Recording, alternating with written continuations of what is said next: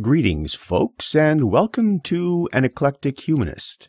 Today, I think I'd like to change directions a bit from what we were doing the last few episodes and jump back to the early modern period, specifically early modern feminism, and more specifically still, one of the best early modern thinkers that you've almost certainly never heard of. I think at a time when women's authority over their own bodies is once again under attack, and under attack from primarily religious authority, wearing the garb of politics, it might be worthwhile to dive back into a period about 200 years before the beginning of what we generally consider to be first wave feminism, and the work of a thinker who seems to preempt by almost two centuries many of the arguments used by, for example, Mary Wollstonecraft in her Vindication of the Rights of Women. Her name is Jane Anger, and in 1589 she published a single short pamphlet, an essay, succinctly titled Her Protection for Women, to defend them against the scandalous reports of a late surfeiting lover and all other like Venerians that complain so to be overcloyed with women's kindness. Written by Jane Anger, gentlewoman. What I think I'll do to start out is not to go into too much detail with the pamphlet itself, though I will be pursuing a few lines of thought there, but rather to discuss the context into which Jane Anger is writing, without which I think there's really no way to understand what she's actually up to. In order to do that, I will have to look fairly bluntly at medieval and early modern notions on women that any modern reader cannot help but see as misogynistic. Or at least that any intellectually honest modern reader cannot help but see as misogynistic. In doing so, I will have to look at some of the ways in which the religious discourse of the time was deployed against the interests of women, quite explicitly so.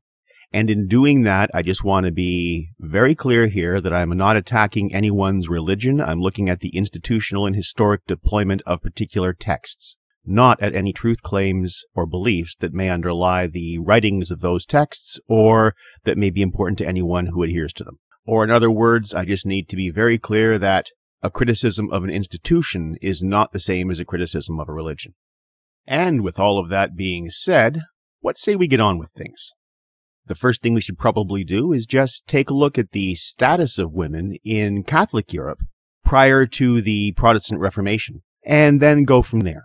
Because of course there's a long history lying behind what Jane Anger is doing here, and I want to encapsulate as much of that as I possibly can in this brief discussion. So what I should probably do is go back fairly far toward the beginning and point out that after the conversion, the status of women in Northern Europe took a serious nosedive. The social values or mores emanating up from Rome and the Mediterranean generally were far more strictly patriarchal, far more regimented than the mores of the displaced worldviews. Women were with a few very rare exceptions, shut out of public affairs, and tended even in noble families to remain uneducated, again, with some notable exceptions. But I'm speaking here of general patterns. Women could not inherit or hold property, and when universities became a thing, were unable to attend them. There was also a very large body of discourse condemning women, attacking women in pretty much every way imaginable, and this discourse emanated from the highest authority. I'll give you a few examples.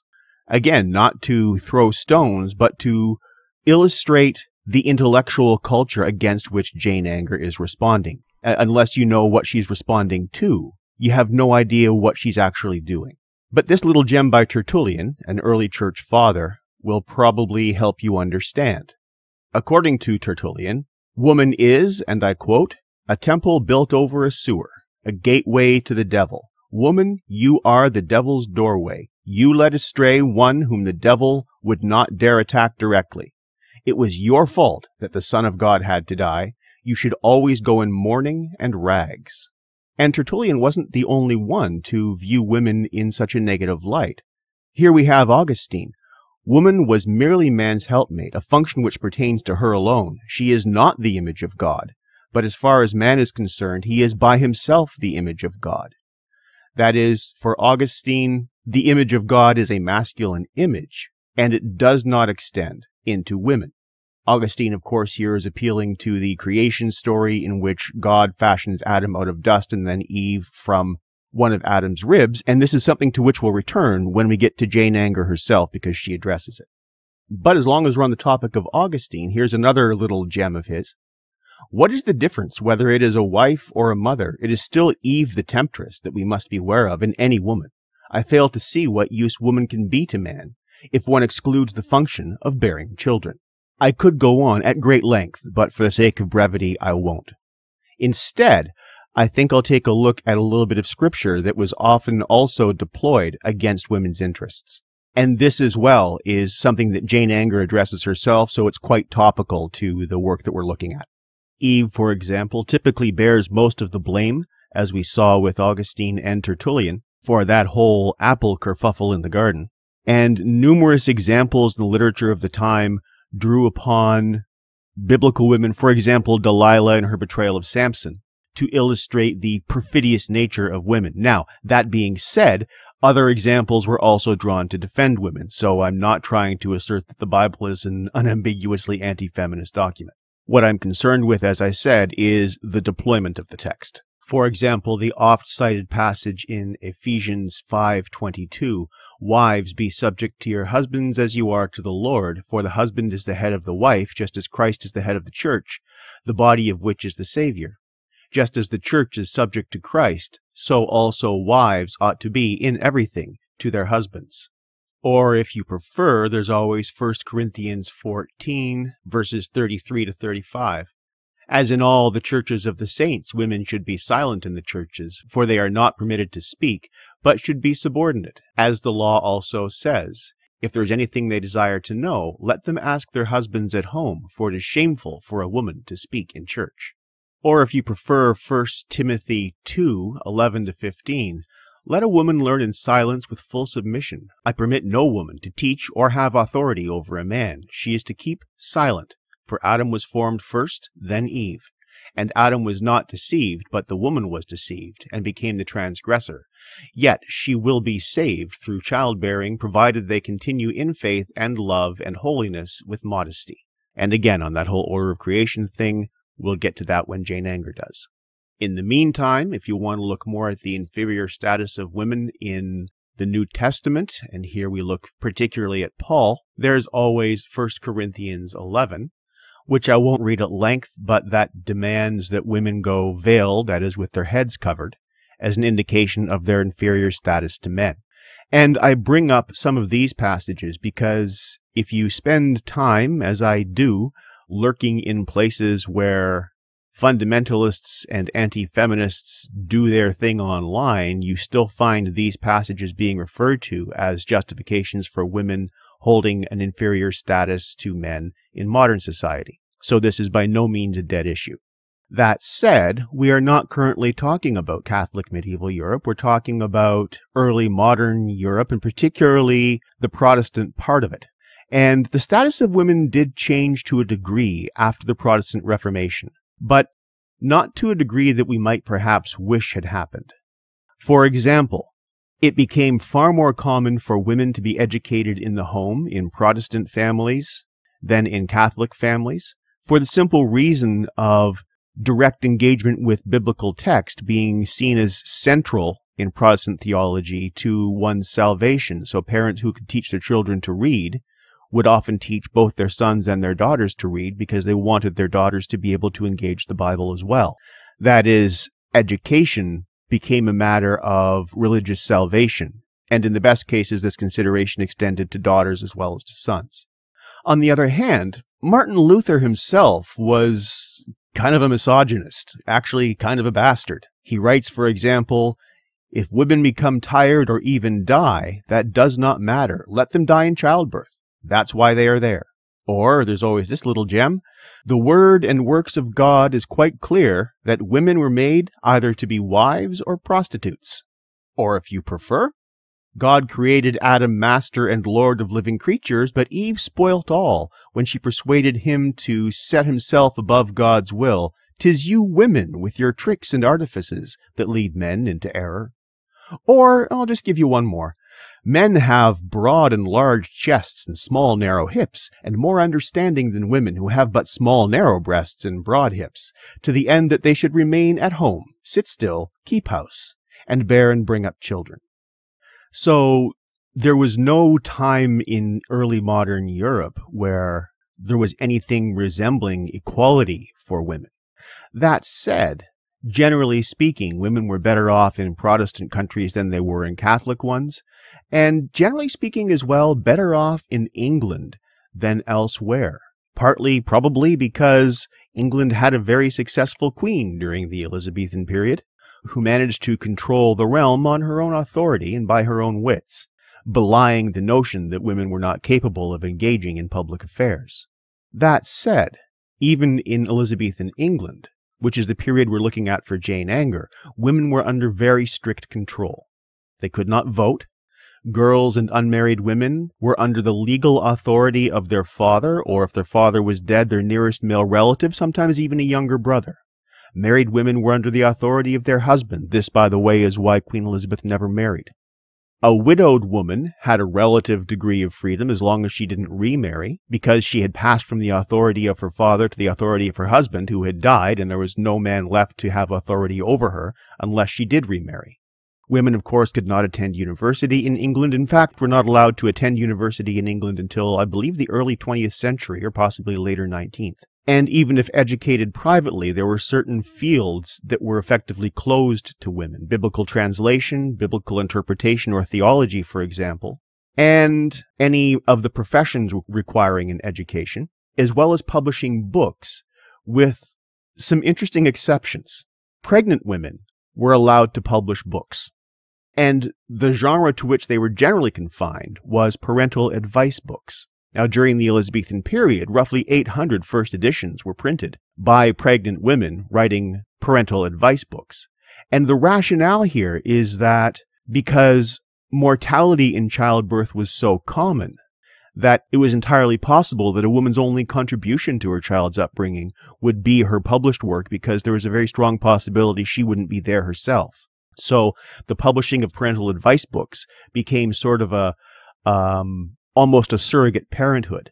Now, I've read several of these books, and many of them are politically quite savvy, using the guise of parental advice to make arguments for the equality of education of men and women, for example, or rather of boys and girls. That is, there was an awareness of and a rebellion against the strictly enforced gender inequality of the period. I'll return to that in a moment. In the meantime, regarding the legal status of women in Elizabethan England. They could be beaten by their husbands so long as the public peace was not disturbed. That is, the well being of the woman was not at issue. What was at issue was disturbing the neighbors. And a woman could not sue for divorce. If a husband sued for divorce, which he could do, he retained custody of the children. And the husband has sexual rights to the wife's body. These rights are not reciprocated. That is, the wife does not have sexual rights to the husband's body. And marital rape is not recognized in England as a thing until sometime in the late 20th century. I can't recall the exact year off the top of my head. But getting back to the discourse on the nature of women, perhaps I should mention that this discourse has a name. It's called the Querelle des Femmes, the argument about women, and it dates back to the Middle Ages. And in fact, since the advent of the printing press at the end of the Middle Ages, it was, when we're looking at short publications, pamphlets such as Jane Anger's, the second most widely publicized debate or topic of discourse in England after the polemic debate between Catholics and Protestants. That is, it was an integral part of the print culture of the time. That said, it's a debate that up until 1589 appears to have been conducted by men and for men, largely as a rhetorical exercise, even a playful exercise where men would sharpen their rhetorical skills so that they could practice them on more serious matters. There are even multiple cases of men publishing pamphlets on one side and then on the other side, simply, as I said, practicing their rhetorical skills, honing their wits, and exercising their intellects. Jane Anger in 1589 appears to be the first woman to weigh in in the Querelle des Femmes in print. And this is one of the reasons why I've chosen to focus on her. Now, it's entirely possible that Jane Anger is a pen name. People wrote under pen names all the time. So there is a great deal of uncertainty about her identity. But while, um, while her name obviously could be a pen name, and she even addresses early in the pamphlet the anger with which she writes, there were actually five Jane Angers living in England at the time. Unfortunately, no other surviving published works, though references to other surviving published works remain. So whoever wrote this, whichever of the Jane Angers it may have been, the document is pretty much a standalone, and it's responding to a pamphlet that is explicitly anti-feminist in its argument, but unfortunately, the pamphlet to which she is responding also doesn't survive. That said, I should maybe say a little bit about the text itself, maybe give you an indication of how you might approach it, and then discuss maybe one or two of the questions that Jane Anger addresses. One question to bear in mind, of course, is who is the intended audience and why? That is, to whom is it actually addressed? And what's the rhetorical purpose of the particular mode of address that she uses? I'll get back to that in a moment. You might also want to consider that for a short piece, this is really an intellectual and scholarly tour de force. And it's a tour de force in fields in which, at the time, women were not supposed to participate. She engages in biblical interpretation and classical scholarship. She also has many different modes in which she argues. She argues by anecdote, she argues by evidence based reasoning, she argues by deductive argument, and she employs a great deal of both irony and sarcasm. So rhetorically as well, it's it's quite a goldmine actually. What you'll want to ask yourself is why she is showcasing her intellect so much, why she's showcasing her learning, and why she's writing in a style that is explicitly modeled on the Latin scholarly prose that was a prestige discourse in learned society. You'll see what I mean when we jump into the text. Because, of course, there's really not much point in talking to you about her if we don't take a look at at least some of what she actually does. And honestly, she's a lot of fun. So, for the textual part of this little talk, what I think I'd like to do is just look at the two introductory letters and get a sense of how she's setting the document up, what sort of rhetorical strategies she's employing, what clues she's dropping as to how the thing should be read, and then go on to talk about one particular line of thought that I think she follows through in a really interesting way. I hope this is enough to intrigue your interest and to perhaps prompt you to track down a copy of the pamphlet, which is freely available online. The University of Pennsylvania has a digital edition available. As for the two letters or introductory notes, I think I'll just read those both now, so they're right at the front of your minds, and then address them both together. So the first one goes something like this. It's addressed to the gentlewomen of England, health. Gentlewomen, Though it is to be feared that your settled wits will advisedly condemn it, which my choleric vein hath rashly set down, and so perchance anger shall reap anger for not agreeing with diseased persons. Yet, if with indifferency of censure you consider the head of the quarrel, I hope you will rather show yourselves defendants of the defender's title than complainants in the plaintiff's wrong. I doubt judgment before trial, which were injurious to the law, and I confess that my rashness deserveth no less, which was a fit of my extremity. I will not urge reasons, because your wits are sharp, and will soon conceive my meaning. Nay, will I be tedious, lest I prove too, too troublesome, nor over darken my writing, for fear of the name of a riddler. But, in a word, for my presumption I crave pardon because it was anger that did write it, committing your protection and myself to the protection of yourselves, and the judgment of the case to the censures of your just minds. And then we move to the second introductory note, addressed to all women in general, and gentle reader whatsoever. Fie on the falsehood of men, whose minds go off to matting, and whose tongues cannot so soon be wagging, but straight they fall a tattling. Was there ever any so abused, so slandered, so railed upon, so wickedly handled undeservedly, as are we women? Will the gods permit it? the goddesses stay their punishing judgments, and we ourselves not pursue their undoings for such devilish practices, St. Paul's steeple and Charing cross, a halter hold all such persons. Let the streams of the channels in London streets run so swiftly as they may be able alone to carry them from that sanctuary. Let the stones be as ice, the soles of their shoes as glass, the ways steep like Etna, and every blast a whirlwind, puffed out of Boreas his long throat, that these may hasten their passage to the devil's haven. Shall surfeiters rail on our kindness? You stand still and say naught? And shall not anger stretch the veins of her brains, the strings of her fingers, and the lists of her modesty to answer their surfeiting? Yes, truly. And herein I conjure all of you to aid and assist me in defense of my willingness, which shall make me rest at your commands. Fare you well. Your friend, Jane Anger. And aren't these just wonderful and each very, very different? One thing I'd like to draw your attention to is her addresses themselves. The first one to the gentlewomen of England, and the second one to all women in general and the gentle reader whatsoever. I bring this up because both address the text to women primarily, the first one exclusively, which is against the norm in the discourse of the time. Of course, most, most writing at the time was done by and addressed to men. But notice also the progression from the gentlewomen of England to all women in general and the gentle reader whatsoever, basically all women and whatever men are not assholes. What this does from the outset, and this is a strategy she continues with throughout the text, is puts men in the position to which women are accustomed to being put.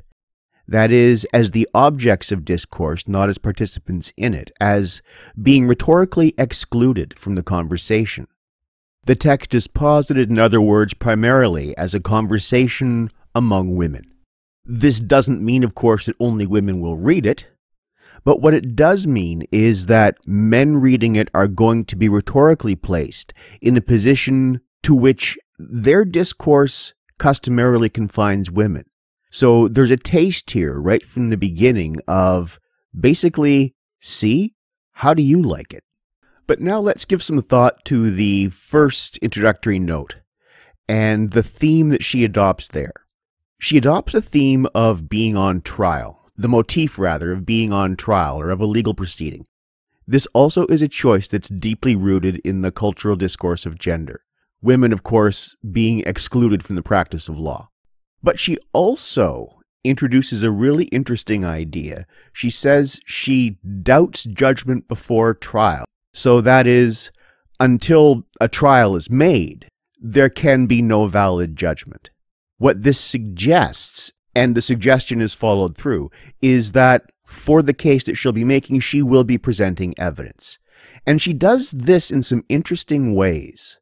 She does go on to present, as I mentioned in the introductory part of this talk, empirical evidence, arguments from various textual authorities, both scriptural and other mythological, anecdotes, syllogisms, and a few others that escape my mind at the moment. So she's presenting herself basically as a defending attorney representing herself, and who is defending herself against what turns out to be a slander. Now, unfortunately, as I mentioned a few minutes ago, the charge against which she's defending herself, the pamphlet to which she's responding, no longer exists. But fortunately, she does seem to sum up enough of its contents that we get a fairly good idea of what it says by reading her document and anybody curious enough to pursue this any further will have no trouble finding other similar anti feminist documents that at least fit the bill of the type of thing to which she'd be responding. I bring this up because while this, as a standalone document, may look like she is being particularly aggressive and hostile toward men, she is just responding to the way men have spoken about women historically since time immemorial and the way that they were speaking about women in her culture at that time.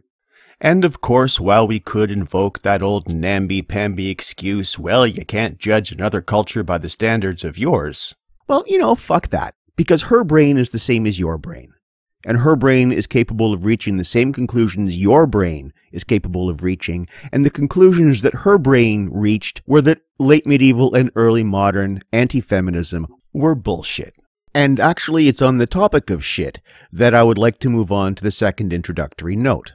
You probably noticed that the tone in the second note is much less formal than the tone in the first one. She's no longer adopting the legal motif here, but is addressing a more general readership quite explicitly, and you can tell this again from the header. One thing I'd like to refer to here is her reference to the washing away of the purveyors of misogynistic discourse through the streams and channels in the London streets. This reference may be lost on a modern or a late modern rather readership because we're all accustomed to our sewers being under the streets. In London in the 16th century, they weren't. That is, the gutters of the streets of London literally ran with shit. That's where it went. They were open sewers. So when a moment ago I referred to anti feminist discourse using a fecal image, I didn't make that up. That's her. And on this note of excrement, I think it's time that we move on to the particular approach that Jane Anger takes to theology.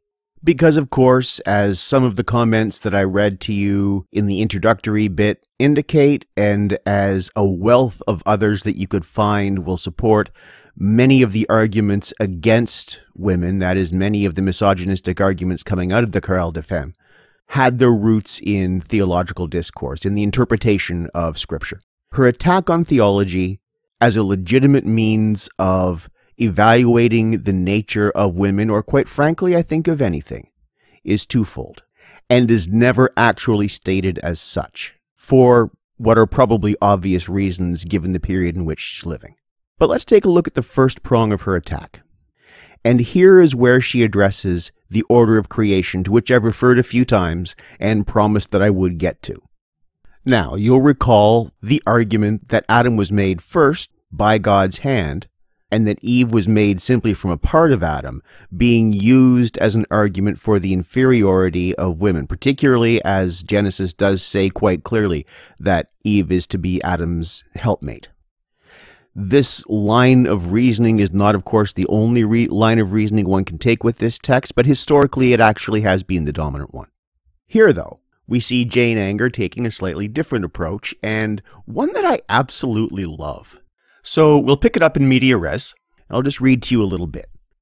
Now, while this greedy grazer is about his entreaty of love, which nothing belongeth to our matter, let us secretly ourselves with ourselves Consider how and in what they that are our worst enemies are both inferior unto us and most beholden unto our kindness. I'm going to pause here because she's doing something really interesting. She's rhetorically saying, okay, well, well, this guy is about his business. We women are just going to talk amongst ourselves. So again, drawing attention to or flagging the exclusion based on gender to which women historically in Western society, and not only in Western society, have been subjected, but reversing it and putting men in that excluded position. But then she goes on. The creation of man and woman at the first he being formed in principio of dross and filthy clay, did so remain until God saw that in him his workmanship was good, and therefore by transformation of the dust which was loathsome unto flesh, it became purified. Then, lacking a help for him, God making woman of man's flesh, that she might be purer than he, doth evidently show how far we women are more excellent than men.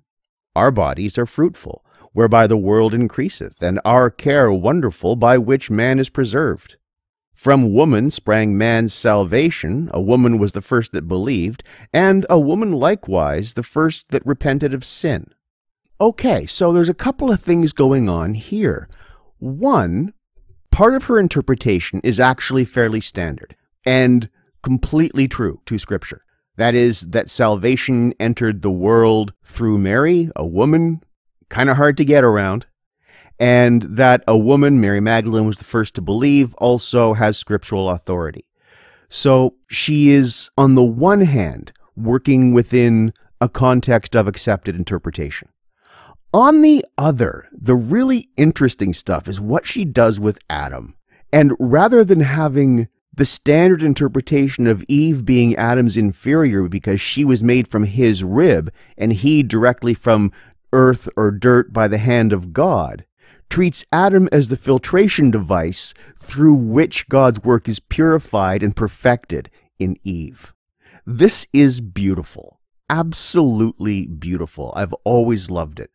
And what she's doing is something that women aren't supposed to do. Women at the time, as I mentioned, are not supposed to even engage in scriptural interpretation. And yet here she is showing awareness of some standard interpretations. That is kind of putting her resume on the table, saying, I know what I'm talking about. And then turning other standard interpretations completely on their head, but working within a logic that you can get out of the text. Now, the way in which, which you can coax logic out of the text, she has a term for that. And I think that's the term I want to address next. She uses the term gloze or glozing.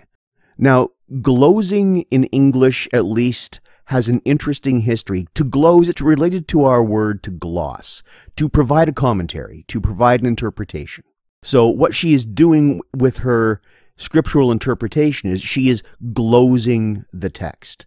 Now, since Chaucer, glozing has some interesting meanings, and I want to address those next before going on to the other prong of her approach to theology, particularly where women are concerned. But as I said, glozing. If you want to go back to Chaucer's time just briefly, and Chaucer died in 1400, just to give you a reference point. In the Canterbury Tales, the term gloze comes up a fair bit, and it's in its conventional term of interpret, or provide an interpretation, or give an informed commentary, until you get to the wife of Bath's tale. And the wife of Bath refers to, well, she has a number of husbands, but um, her fifth one, I believe it's her fifth, Nicholas, she refers to Nicholas as being able to gloze her in ways that revealed some very satisfying interpretations. So, since Chaucer at least, there's been a subtext to the term glozing, which kind of means fucking. And this meaning is certainly present in Jane Anger's text, where the term comes up twice in fairly close succession. And it's not a word in everyday usage, and the fact that it comes up twice on the same page means she has something in mind with it. She says, for example, the smooth speeches of men are nothing unlike the vanishing clouds of the air, which glide by degrees from place to place, till they have filled themselves with rain. When breaking, they spit forth terrible showers. So men gloze till they have their answers, which are the end of their travail. Or to take a look a little later on on the same page, she has the following to say. Their fawning is flattery, their faith falsehood, their fair words allurements to destruction, and their large promises tokens of death, or of evils worse than death. Their singing is a bait to catch us, and their playings plagues to torment us. And therefore take heed of them, and take this as an axiom in logic and a maxim in the law, nulla fides hominibus, there is no truth in men. There are three accidents to men, which of all are most unseparable lust, deceit, and malice. Their glozing tongues, the preface to the execution of their vile minds, and their pens, the bloody executioners of their barbarous manners. So, in both these cases here, what we see is the term gloze, referring to a sort of a dishonest interpretation, a way of coaxing a meaning out of a text or a person that isn't actually there. That is, making it say what you want it to say, rather than what it actually says.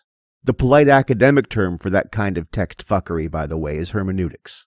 And Jane Anger's usage here, when she's in the midst of interpreting various texts to a preconceived notion of what she wants them to mean, is a really good example of how glozing works.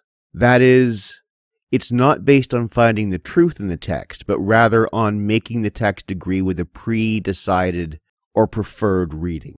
And insofar as a text is capable of being glozed in that particular way, it's of course also not that reliable as a guide to truth, is it? There's a way out of the bind, and Jane Anger herself offers a way out, which I'll get to in a few minutes. But first, we have to finish addressing the bind itself as she approaches it. A little while after the creation passage that we were discussing a minute ago, she goes on to say, And now, seeing as I speak to none but you which are of my own sex, give me leave, like a scholar, to prove our wisdom more excellent than theirs, though I never knew what sophistry meant. There is no wisdom, but it comes by grace. This is a principle, and contra principium non est disputandum. Against principle there is no argument.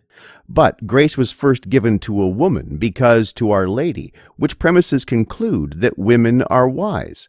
Now, primum est optimum, first is best, and therefore women are wiser than men. So, okay, what's she doing here? This is, I think, another little brilliant bit. To start, she's identifying herself once again as just a woman speaking to women, We'll leave all those silly men to do their thing. And then she identifies herself as speaking like a scholar. What she's referring to here is the scholastic philosophers. Scholasticism was the dominant school of philosophy at the time. It's based in the work of Thomas Aquinas, and it's a school of thought that tends to proceed largely through syllogistic reasoning, that is, reasoning from major and minor premises to a conclusion when she posits first is best as a major premise, what she's saying is that this is beyond dispute, that this is what we call an axiom. Axioms are parts of an argument that you simply accept. And having established that first is best as her major premise is an axiom, and that as a minor premise, a woman was first to receive grace, and that wisdom only comes from grace. She can therefore reason in a logically valid way. And technically, validity refers to the structure of the argument, not necessarily to its contents, toward women being superior to men. The problem with that, of course, is that it's not got a single empirical fact to back it up. And this is the difficulty with scholastic reasoning, as Jane Anger points out, and as quite frankly Francis Bacon will point out about 30 years later when he invents the scientific method. And for the same reasons. You can make words do anything. In the absence of empirical evidence, you can gloze the fuck out of any text and make it say anything you want, which means that what you're doing is basically useless. It's mental masturbation. And she's flagging this fact by using the exact opposite argument that she used with the creation story. She's arguing here that first is best and a woman was first to receive grace, therefore women are better than men. But with the creation, she argued that Adam being created first did not, in fact, make him better, but made him worse because Eve was the result of Adam's working basically as a filtration device, getting rid of all of the impurities in the dirt from which he was formed. Now, none of this has any empirical basis whatsoever, so it's absolutely useless as a guide to truth. What she's doing is quite consciously highlighting the fact that arguing in the absence of evidence is worthless and that all of these arguments coming out of the Querelle des Femmes about the inferiority of women are nothing but that. They're just empty words because not based in evidence. That is, to be really blunt about it, she is very subtly, I think, and brilliantly saying there is no authority in Scripture and there is no authority in scholastic philosophy to prove an empirical case, to prove an actual truth claim. So, how do we know, how do we establish that women are not inferior to men and that the misogyny of the culture in which she lived is completely baseless? Well, she does give us an answer. And her answer is a quintessentially modern answer, an answer in keeping with the scientific revolution through the early years of which she's living, and in keeping as well with many of the arguments that have developed since her time about the equality of, for example, women and men, and the equality of races, and the equality, in fact, of human beings in general.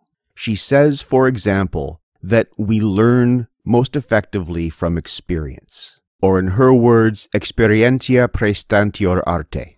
Experience is superior to artifice and he that hath experience to prove his case is in better case than they that have all inexperienced bookcases to defend their titles. This is counter to the scholastic method. And this is counter to arguing from scriptural authority. In fact, it's counter to what we might consider a hierarchy of proofs or demonstration or authority for the basis of knowledge claims operating in the late medieval period and well into the early modern period.